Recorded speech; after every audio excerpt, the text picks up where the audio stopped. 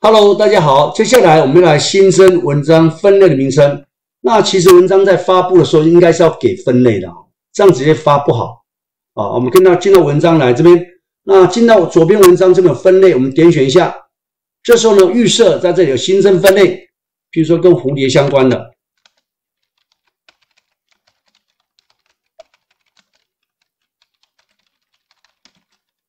好，点新增哦。再来点选新天牛，再来新增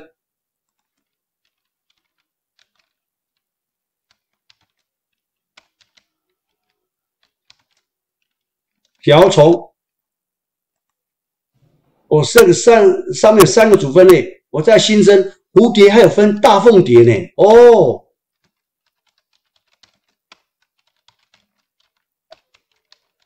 大凤蝶，那大凤蝶呢？它应该在蝴蝶的下一层。那这边就把最上层的功能取消，取消时候它就让你选了。哦，蝴蝶放在大凤蝶放在蝴蝶的下一层，新增就会看到这样子。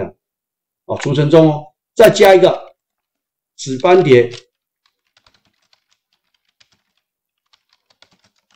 一样把这个最上层取消，它就让你选点蝴蝶，那就新增这两个了。所以在蝴蝶下面有两个子分类，当你分类做完以后呢，接下来就可以新增文章，可以指定了。来，我再来新增一篇文章。好，接下来介绍什么呢？蝴蝶的生活史。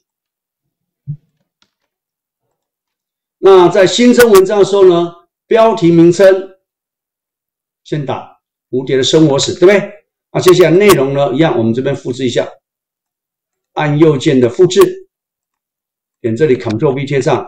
那在右边，如果看不见这，记得要点齿轮哦。右边这里呢，就可以看到这个排版的样式，色彩可以改哦。字的颜色我想用红色的，背景呢，我希望有点不同背景，来橘色这个背景哦，再带一点这个好。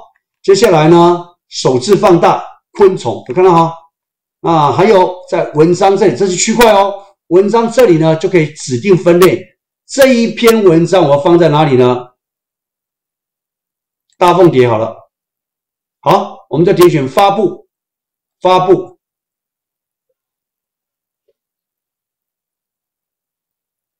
那我们再回到网页来，我们一样再点选首页，点选首页就改喽。哦，这是我们刚刚发布的文章，最新的啊。老师，那我们前面两两个文章没有分类怎么办呢？我们再一样再回到检视这里来，呃，全部文章，我们刚前面这两篇文章，认识蝴蝶。点这里可以再来做什么编辑？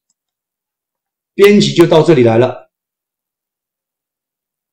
这时候我们可以重新再给它什么呢？分类哦，这个应该是归于蝴蝶，不要再未分类，叫蝴蝶这个类别更新。所以呢，这个地方就可以加进来了。来，那我们再回上一层，上一层这里，接下来还有这个蝴蝶的构造，一样在文章点起来以后呢。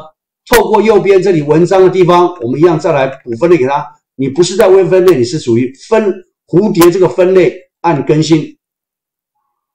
所以呢，每个文章当然都可以做修改的。那如果说你分类做完以后，我们可以把文章的分类变成什么呢？变成选单放在这里哦。